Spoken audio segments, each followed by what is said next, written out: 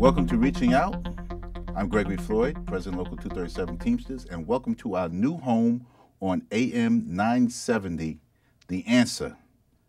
Our very special guest is newly elected council member, Speaker of the Council, Melissa Mark Viverito. She is our first guest on our new radio station, our new home.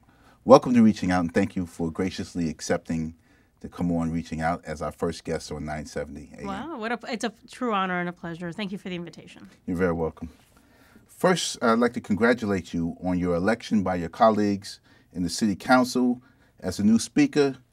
You have been a part of the labor movement, a strong supporter for union members and advocate for public employees, and also a great friend of people who live in public housing. What are your first issues that you are already working on just a month into your uh, post Bloomberg administration? We know there was one with the um, the Family uh, Sick Paid Leave sick, Act, the Paid paid Sick sick, Leave Act. yes. Yes. So, uh, well, first of all, thank you so much for the invitation, and, and thank you for your Mm. leadership, Greg, in, in, in the Teamsters and representing hardworking families across the city. Uh, that is reason one of the reasons that I wanted to get into public service, and now as Speaker of the City Council, very excited that we can really move forward an agenda that is inclusive and that is very much embracing uh, those that have struggled to to be here in New York City and to continue to provide for their families. And so our agenda is is really to kind of amplify that progressive vision that really has been uh, pretty much uh, mandated in the last election cycle when we've seen this great wave of change in positions of leadership with the mayor. Um, so we are really going to roll up our sleeves and get to work on some issues that really matter. Obviously, uh, one of the first acts that we've done is, is introduce legislation to expand the paid sick leave legislation uh, that had been adopted in the last session supposed to go into effect April 1st, some of us felt that we wanted to cover more workers. And so we are introducing a bill to, to augment and uh, have represent more workers who would receive paid sick, day, uh, sick days on an accrual basis. Obviously, we're looking at issues of the universal pre K plan that the mayor has laid out and really advocating for Al- uh, Albany to allow New York City as a municipality to tax itself and those that live here, to that modest tax increase that will provide for universal pre K for every child. Uh, as you indicated, I've been a really strong advocate for our public housing stock in the city of New York and figuring out ways that we can have the authority be more responsive and responsible to those that live in public housing, our residents. Uh, we want to improve the quality of life and make sure that we continue to invest in the public housing stock in the city.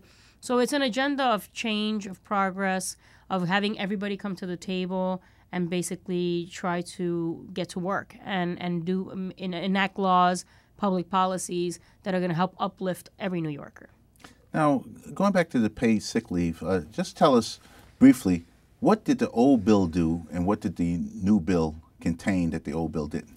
So basically, the you know th- th- there there was a conversation and, and debate that was going on for many years around paid sick leave. Uh, it was a law that that um, or legislation that really did not move as quickly as some of us would have liked. It took a long time.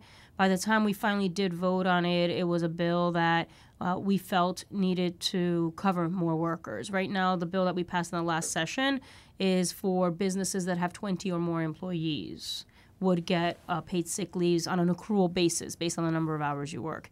And there were those of us who wanted it to cover a larger number of workers. So now the bill that we're introduced has been introduced and that we will have hearings on basically is for any business has have has five or more employees. So we're that with that um, with increasing that, we basically are going to be covering close to you know 500,000 additional workers that you know if they get sick, if their child gets sick, if their relative gets sick, their mother or parent, that they're able to be able to take that time off without fear of retribution or retaliation from the the employer. So it's very significant. A lot of other municipalities have implemented such legislation, and it has not had an adverse impact on the small business community or the business community.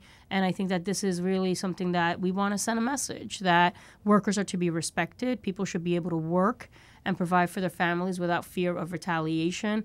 Uh, that this is a right that I have as a council member, that you have as someone sure. that works in a union, that most that have uh, representation of unions and that work in the private sector have that right. So why shouldn't low wage workers that work in a service industry have the same right? So we're you know we're very excited about being able to push this forward and and helping more wor- uh, workers in the city of New York.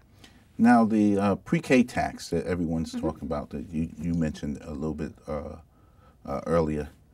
Uh, tell us what that would entail and tell us about the pre-K plan for New York City? So the plan as presented, again, that this is what people have to understand, and, and people do. Those that are listening, most probably went to the to the polls and they voted, right? But the overwhelming mandate for Mayor De Blasio when he was a candidate, the real center of his platform was the issue of universal pre-K, was the issue of taxing those that make more than five hundred thousand dollars a year, a modest, modest, very modest um, increase. I think it would be for someone earning $500,000 or more on average an additional $900 a year that they would have to pay in taxes. That amount would be specifically and solely invested in ensuring that every child has pre K. And that's critically important because if we want our children to succeed, if we want to help the economy of New York City, then creating a foundation which allows that child to do well in school, to graduate, to then hopefully go on to college. You know that that early education is critical. And in the city of New York, um, you know, the district like the one that I represent, which is a low income district of color, uh, there's a big achievement gap between black and brown kids yes. and their white counterparts. And one of the issues and concerns is that if when not concerns, what's been proven is that when you provide for an early education, you help start closing that achievement gap. And so that's why it's really important for communities like the one I represent, communities across the city of New York, that we really do level the playing field. And uh, this is really something I feel strongly about. And what we need to do in order to do this is that we have Albany needs to allow us, New York City, to tax our own New York City residents. And that is something that we've taken that message to Albany. I was in Albany last week with 20 of my colleagues. The mayor went to Albany, um, you know, to send the message that New York City, as a municipality, has the right, as any other municipality in the state of New York, to decide how to do how you know do their, their local taxation issues. So you know, right now the governor has expressed a hesitancy of allowing us to do this, and we're going to continue to send the message that this is what we need and this is what we want, and that the election cycle that we just passed through um, sent that strong message and is giving us the uh, is empowering us as legislators to send that message to Albany. Uh, the New York City Housing Authority is a very important, uh, integral part of my union. And it's also a part of your agenda also. I know you have a great love for the people in mm-hmm. NYCHA. Uh, what, where do you see um, NYCHA as opposed to uh, city politics these days? Uh, what do you think is going to happen with NYCHA? You know, this is a, a real, it's a real hard one. Um, we've seen, and you, as you well know, Greg, you know, we've seen such a level of disinvestment in our public housing uh, in this city of New York by the federal government. I think we still, for every dollar that we need for infrastructure and for maintenance of our public housing stock, we get maybe 85 cents to every dollar that we need. So there's a shortfall yes. every year, which obviously, as every year, you know, it adds on, that, that becomes more of a, a structural deficit of sorts that really uh, leads to us not investing in much in the capital repairs that we need in, in the aging housing stock. So there's been an incredible disinvestment at the federal level. There's also been a disinvestment at the state and city levels. You know, our budgets don't really have money for, for NYCHA set aside. It used to at one point. Yes. The state used to allocate some money to our public housing uh, stock and authority. It doesn't do that anymore, neither does the city, really those of us in the, in the council that have public housing, we do provide some capital monies for it, but obviously it doesn't meet the need. Sure. I mean, I've got 20,000 units of housing, uh, public housing in my district, and so I don't have enough money in, in the amount that I can allocate to really help the way that, that it needs. So we have to figure out how do we turn that around, and it's not an easy answer. Obviously, we can always talk about having the authority um, be better run and managed how can we find efficiencies and redirect that money towards our public housing. So we plan under uh, you know my leadership in the council to really be aggressive and really now with a new administration that also has a, a commitment to our public housing residents and to the public housing stock in the city that we really roll up our sleeves and find some creative solutions um, that can help. Uh, the, one of the ideas that the old administration floated, which I was not in agreement with, was the infill plan, which uh, thankfully has been scrapped and is not being uh, moved on. But there has to be a way of re envisioning the way that we can.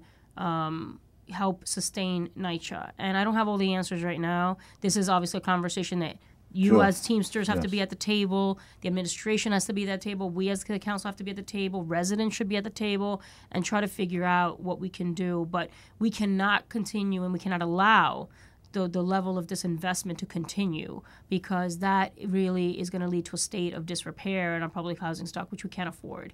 Uh, with the crisis we have in affordability in the city of New York, it's getting much harder to live here, more expensive to live here. You know, I've always said that public housing is the cornerstone of affordable housing in this city, and we need to do everything we can to continue to make sure that it survives. Thank you. We look forward to a bright future. Uh, I'm Gregory Floyd, President Local 237 Teamsters. We're on our news station, 970 AM. The Answer, and our very special guest was Melissa Mark Viverito, the Speaker of the New York City City Council. Thank you once again for coming on the show. Thank you.